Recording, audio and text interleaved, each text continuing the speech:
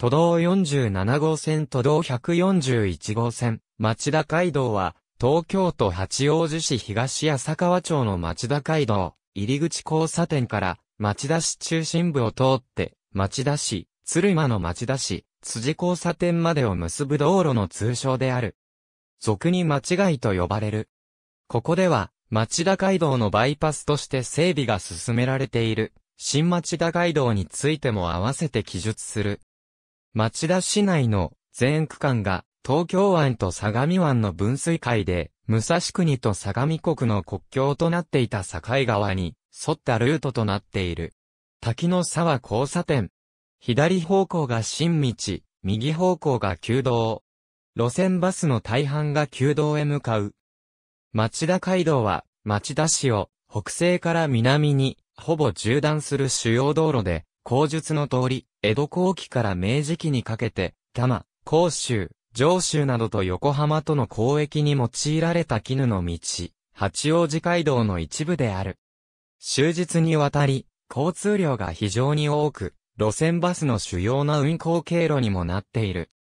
しかし、都市計画や路線整備の遅れもあって、2013年現在でも、ほとんどの区間が、福音に余裕のない片側一車線道路であることや、周辺道路との交差や信号機が多いこともあって、交通の流れは良好とは言えない。境川を挟んだ神奈川県側を並行する国道16号など、周辺道路の混雑時に通過交通の流入が起きることもあり、特に市内南部や北西部などでは、激しい渋滞が慢性化している。町田市中心部では、口述の経緯もあって、駅前の商店密集地を貫くルートになっていることもあり、1960年代までにはこれを迂回する片側1.5車線のバイパスが整備され、以後の交通の流れはこのバイパスがメインとなっている。なお、商店密集地を貫く本線のうち、町田駅脇の小田急線玉川学園8号踏切から町田ターミナル付近までは、町田駅前のメインストリートの一つで、一方通行になっているほか、時間帯や日によって歩行者天国となる。町田3.336号線慢性化した町田街道の渋滞対策として、相原付近、時は駐在所間の拡幅整備と、時は駐在所から競りが谷公園付近にかけて、さらなるバイパスの整備が計画されており、振動は一部区間がすでに供用されている。計画上では、整備予定の全区間が片側に車線以上となっているものの、大美林学園付近町田基礎団地までは、玉都市モノレール、町田延伸構想の導入空間として広い、中央分離帯を確保しており、当該区間においては片側1.5車線としての共用となっている。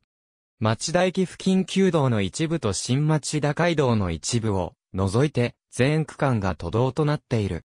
各区間のデータに関しては下記の項目を参照のこと。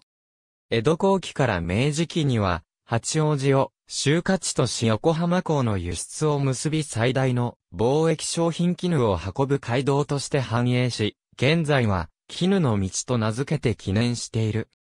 八王子と横浜のほぼ中間となる原町殿が中継地だったことで市街地も発展し、これを記念して町田駅前の旧道に絹の道の一種組が建てられている。なお、町田街道とは別に浜街道と呼ばれる絹の道のルートも存在する。